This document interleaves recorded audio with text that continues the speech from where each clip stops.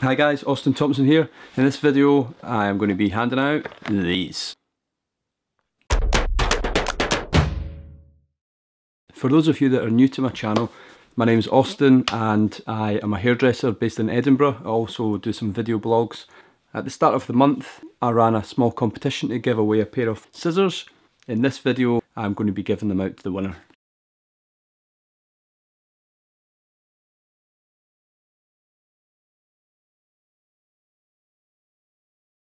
So Michael Reed, congratulations. These bad boys now belong to you. So check your mail.